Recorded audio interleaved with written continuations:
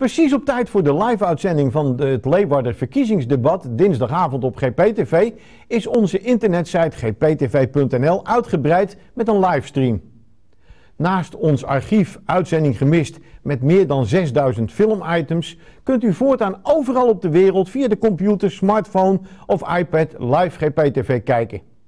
Dat wordt vooral leuk als je op de tribune zit bij een sportwedstrijd die live op GPTV wordt uitgezonden. Je kunt dan op de tribune in slow motion de herhaling zien.